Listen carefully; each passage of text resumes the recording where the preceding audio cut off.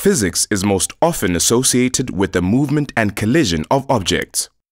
Understanding how to predict what happens during and after bodies interact or crash with one another is vitally important and surprisingly easy.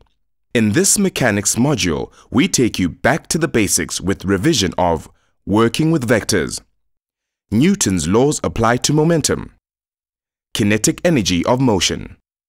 In order to be successful in momentum and impulse, you will need to understand the concepts of vectors and scalars, forces and motion.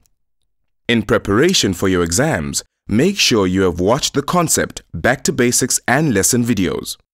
Also, be sure to complete our assessments to check your understanding and practice for examinations. Once you have mastered those skills, the enrichment and career videos will take you beyond the classroom.